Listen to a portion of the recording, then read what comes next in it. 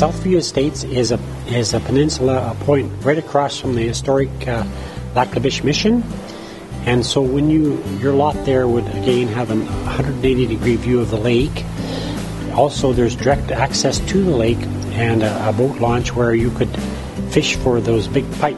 It's one of the uh, famous uh, sports fishing points on the lake, and um, you could uh, throw your hook out, and every time you'll get yourself a nice, nice big pike.